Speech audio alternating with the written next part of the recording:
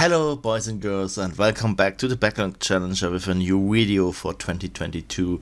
A video that uh, has a long time coming. Well, I haven't posted a theme in a very very long time. You're probably wondering where I was and well the truth is I'm so happy with my retro RetroArch theme that I don't see the need to of making new themes but then the Retroid Pocket 2 Plus came out and I own it now. I uh, use this device to record this video at the moment and the Retroid Pocket 2 Plus is the best bang for the buck that you can get at the moment. Sure it has some slight problems still, but it can actually play some GameCube, Wii, 3DS and PlayStation 2 games. Some, not all of them. You won't be playing San Andreas on that thing.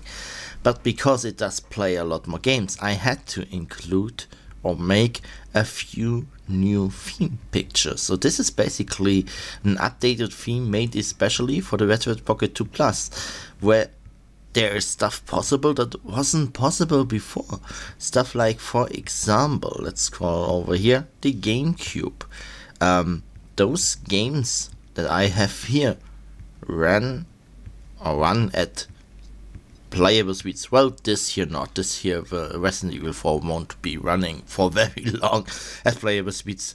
Um, but for example, 13 runs pretty great on this device. The same thing with uh, Wind Waker Witch Dips in some areas. Harvest Moon basically full speed. Evolution Worlds basically full speed. Eternal Darkness some slight dips. Stuff like that. And even some Wii games like Klonoa runs pretty decent. Yeah, some cutscenes are below target frame rate and some areas can dip also, but a lot of the game is running full speed on a portable handheld. Uh, same with uh, some of the other more advanced systems. 3DS is probably one of the worst. I got Majora's Mask to run in some areas full speed, and you can play your Pokemon and your Shin Megami Tensei Strange Journey, as well as some Sonic Lost Worlds on it. The other games like Virtue's Last Reward are still untested. Um, so I made pictures for those. Uh, Saturn, Saturn is a big thing because Saturn just works now. It just works for like almost all of the games. Uh, so yeah, uh, I added uh, the missing pictures, and the link will be in the in the download. But there are some things for PS2 and for um, Dolphin in particular that Retroid Pocket 2 Plus owners might want to know about DIG. So if you just want to grab the theme because you have a Retroid Pocket 2 or Retroid Pocket 2 Plus and you just are interested in uh, getting the most up-to-date, the most systems files, uh, then you can just grab it. Uh, link is down in the description. Watch my original video on this theme uh, because I think in that video I explained a little bit about clone files, stuff like that. Um, but here I want to tell you something else.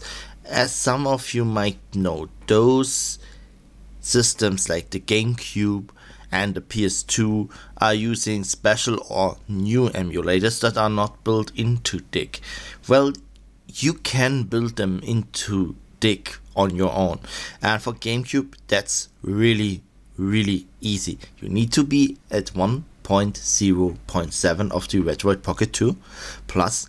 Um, I'm not sure how it will be in future uh, versions, so I'm basing this one on the most up-to-date version at the moment, which is 1.0.7. Then you go uh, rerun the setup script and you get a special Dolphin version. And to get that running, you open the system view so that you see your covers. You press the R1 button, you scroll down to manage system, and I already renamed the emulator, but you basically go to edit emulators. You choose the emulator that you want to change, and this package name here is originally with the Dolphin emulator, it's org.dolphinemu.dolphinemu, which will launch the original Dolphin emulator. We want that special hacked build of Dolphin, so we change it to org.dolphinemu.mmjr. and the rest can stay just as it is. And after that, you save the emulator, you click done, you go here, go to manage system, you choose that Dolphin emulator uh, uh, from the list of emulators you can choose, and it will launch. Um, I have screen capture on, so there's no use of me launching a GameCube game because screen capture it will basically uh, make the performance terrible. Same as with Wii. For the PS2, uh, AetherSX uh, is a new emulator, and here are some of the games you can play. Ar tonelico 2 and Atelier Iris Eternal Mana ran at 60 FPS. Atelier Iris even a little bit better, but both will dip when magic effects happen, which will be a common occurrence on that emulator. Final Fantasy X is somewhat playable. Kim Possible, yeah, that one is fun. um, basically, cutscenes won't run at all, like 1 or 2 FPS. But as soon as you get in the game, most of the levels seem to run just fine. Some will dip, but most of the levels seem to run just fine. Kingdom Hearts, I haven't tested that. Taki got that to run, so I can't vouch for that. Magic Blood Cadenza and Actress Again both work. Uh, Actress Again has some graphical glitching in the character sprites, but runs basically full speed, while uh, cadenza has some slight minor slowdowns in heavy special attacks, so when a lot of effects are on the screen. Rez mostly works, uh, slows down when a lot of enemies are on the screen. You're better off playing just a Dreamcast version of that, of course.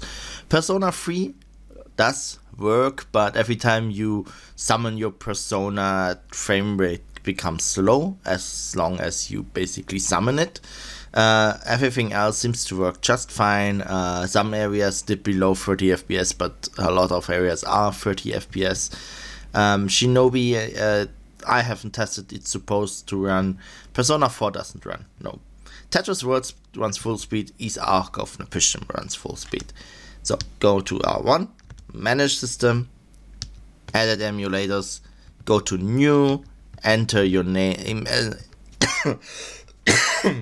Sorry, uh, go to AetherSX, uh, or add, no, the, I added it, so new, and take the name AetherSX2, package name is xyz.aethersx2.android, activity is xyz aethersx2.android.main activity, and uh, auto start file. Uh, accept zip files and you save that shit and you're done. So there's one problem with AetherSX2, it doesn't auto start. Even when we told him, it doesn't do it. But at least it does boot the app. So which is fine. Which is really nice to have.